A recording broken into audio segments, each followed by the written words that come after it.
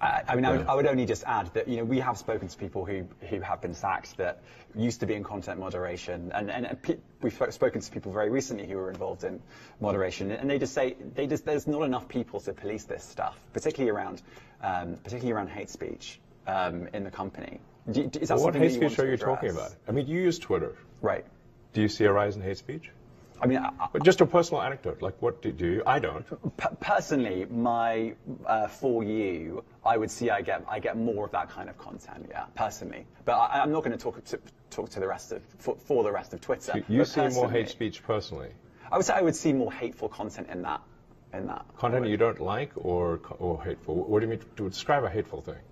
Yeah, I, I mean, you know, just content that will solicit a, a reaction, something that may include something that is slightly racist or slightly sexist, those kinds of those kinds of things. So you think if I'm- something is slightly sexist, it should be banned? I, no, Is I'm that what not, you're saying? I'm not saying anything. I'm Well. I'm just curious. I'm, I'm trying to understand what you mean by hateful con- content. And I'm asking for specific examples. Um, and if, and you just said that if something is slightly sexist, that's hateful content. Does that mean that it should be banned? Well, you've asked me. You've asked me whether my feed, whether it's got less or more. It, I'd say it's got slightly more. That's why I'm asking for examples.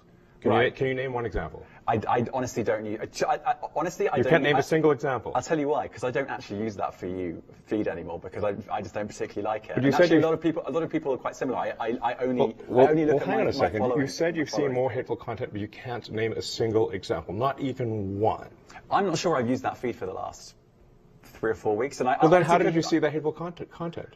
Because I've been I've been using. I've been using Twitter since you've taken it over for the last six months. Okay, so then you must have at some point seen the you for you hateful content. I'm asking for one example. Right. And you can't give a single one. And, and, and, I'm saying, I, I- then I, I say, sir, that you don't know what you're talking about. really. Yes, because you can't give me a single example of hateful con- uh, content, not even one tweet, and yet you claimed that the hateful content was high. Well, That's a false. no. What I You claimed, just lied. What no no. What I claim was. Uh, there are many uh, organisations that say that that kind of information is on the rise. Now, whether whether it has on Give my me feed one or example. not, I mean, I, right? And Literally if you can't look at name something one. like the, the uh, Strategic Dialogue uh, Institute in the U- in the UK, they will say that. So you, they, Look, people will say all sorts of nonsense. I'm literally asking for a Right. single example, and you can't name one. Right, and as, as I already said, I don't use that feed. But let's, Well, then how let- would you know? let- that I don't you- think this is getting anywhere. You literally said you experienced more hateful content, and then couldn't name a single example. right, and as I said, I That's absurd. I haven't, I haven't actually looked at that feed. I Then how would you know few hateful content? Because I'm saying that's what I saw a few weeks ago. I can't give you an exact example. Let's move on. We have, we only have a certain amount of time. Um, Wow. COVID misinformation. You changed the Amazing. COVID, you changed the COVID misinformation. Has rules. BBC changed its COVID misinformation? The BBC does not set the rules on Twitter, so I'm asking you. No, I'm talking about the BBC's misinformation about COVID.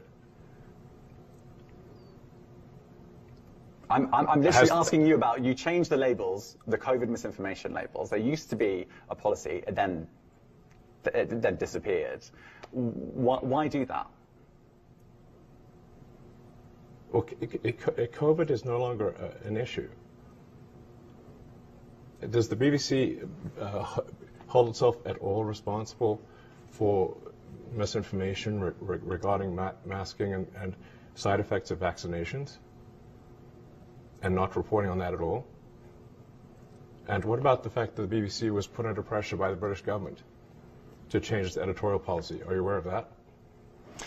This is, a, this is not an interview about the BBC. Oh, you thought it wasn't? and this, I see now why you've done Twitter Spaces. I am not a representative of the BBC's editorial policy. I want to make that clear. Let's talk about something else. If you want I'm to talk about the interviewing you BBC, too. all right. Let's let's let's talk about let's talk about something else. You weren't expecting that. Let's talk about